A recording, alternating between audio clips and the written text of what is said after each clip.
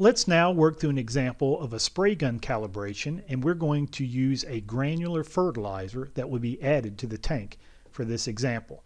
We're going to use a 2000 fertilizer in this example. That's a product that's 20% by weight nitrogen. Again, it's a dry or granular form. Our goal of application is a half pound of nitrogen per thousand square feet. Using our spray gun, we've determined that we can apply a spray swath of 8 foot, so 8 foot wide spray pattern. And we've got a 100 gallon spray tank and a pump on the back of a truck. So we're going to go through this example using some other information that I'll provide. And remember that one of the uh, the, the goals of spray gun calibration is to do the calibration on the basis of a thousand square foot area. That makes it uh, typically a little bit easier to work with. And so what we want to know is how long of a test course, a calibration course, will it have to be in order to apply uh, the water to a thousand square foot area. So since we want a thousand square feet,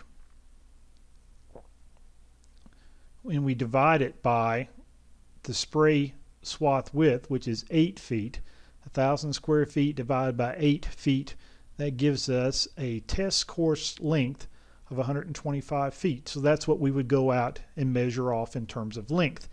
Then we would determine a speed. Remember, your speed and your pressure have to be constant in order for a calibration to hold. And we have said that uh, in our training modules that a typical speed is usually about 3 miles per hour, and 3 miles per hour equates pretty close to about 4.4 feet per second. That's kind of a standard walking or driving speed. And why that matters here is we're going to take the 125 feet divided by 4.4 feet. We would get ourselves uh, in tune with being able to walk at that particular speed. And the bottom line is that if we take 125 divided by 4.4 feet per second, so it's 125 feet divided by 4.4 feet per second, we'll need uh, to have a, a uh, speed that's going to take us 28 seconds to walk that 125 foot length. And in reality, that's what we would practice until we are right on top of 28 seconds. It's actually 28.4 seconds. But once we could get our speed to that level consistently, that would be a very good walking speed. So what we would do is we would uh, get that speed down. We would then collect the discharge from the spray gun for 28 seconds, and that will be a, a rate of delivery that we're calibrated to deliver at that point in time. And for the purpose of our example, I've just randomly selected that we have collected 117 fluid ounces from a spray nozzle over that 28 second period. Now we want to determine what is the output that we're calibrated to deliver. So we now know that 117 fluid ounces has been collected. Let's first convert this to gallons. And there are 128 gallons, excuse me, 128 fluid ounces per gallon. Okay, so if we take 117 divided by 128, that's approximately 0.91 gallons. And now we're going to use this in a proportion to determine what our output of our sprayer is.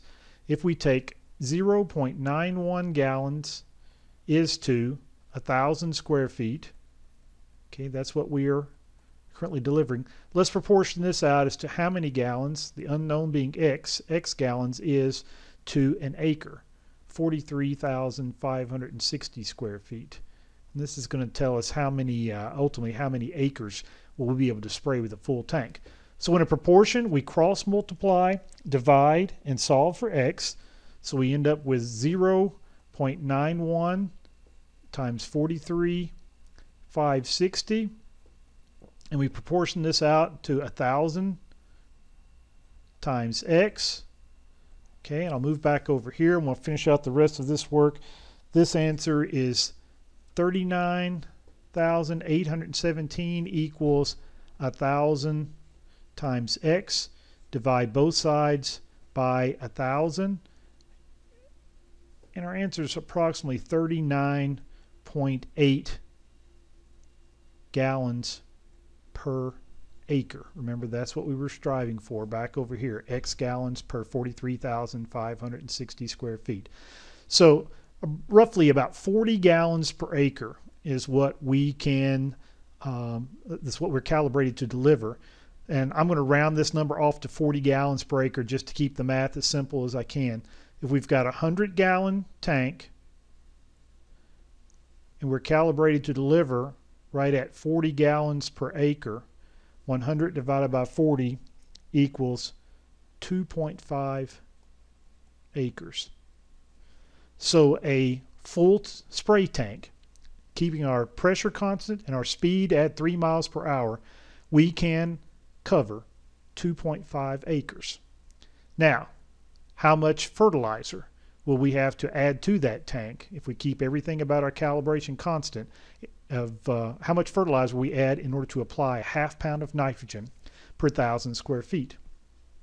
All right, let's first determine how much fertilizer we need to give us a half pound of nitrogen. 0.5 pounds of N divided by its fertilizer analysis, which is 20%. So divided by 0.20 equals, we need 2.5 pounds of 20 per thousand square feet. Okay, 2.5 pounds of 2000 gives us the desired half pound of nitrogen per thousand square feet that we that's what we desire. So there is 2.5 pounds of 2000 is to a thousand square feet. Okay, let's look at what we have available to us to work on another proportion. Okay, 2.5 acres is how much area I can cover. If I take 2.5 times 43,560, that's 108,900 square feet. And now I've got appropriate units with which to set up a proportion. So I have 2.5 pounds of 2000 per thousand square feet.